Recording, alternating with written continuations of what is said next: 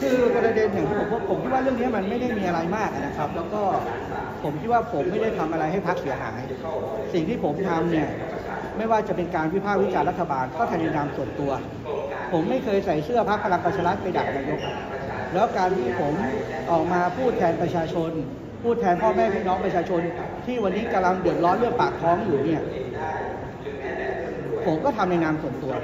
ตามเสรีภาพบทบัญญัติของรัฐธรรมนูญ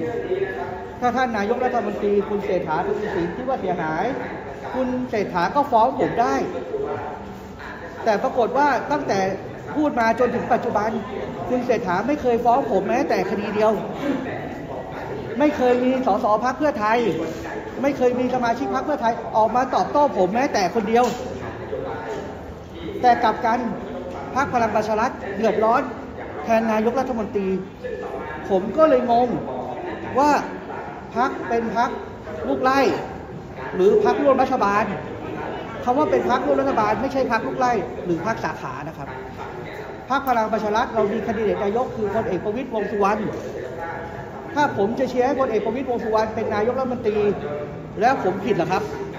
ผมจะต้องถูกขับออกจากพักเหรอครับ กับการผมเห็นพักหนึ่งพักประชาธิปัตย์ สมาชิกพักด่าหัวหน้าพักกรรมการบริหารพักเปิดข้อบังคับหาวิธีขับสมาชิกพักคนนั้น จนทุกวันนี้ยังหาไม่ได้เลยครับ แถมสมาชิกพักคนนั้นบอกครูเลย ขับสิจะฟ้องต่อศาลผมก็เลยย้อนกลับมาว่าไอ้พรบพักการเมืองเนี่ย มันใช้กันคนละฉบับหรือเปล่า ผมเนี่ยเชียร์หัวหน้าพักชมหัวหน้าพัก เอาคนมาสมัครเป็นสมาชิกพัก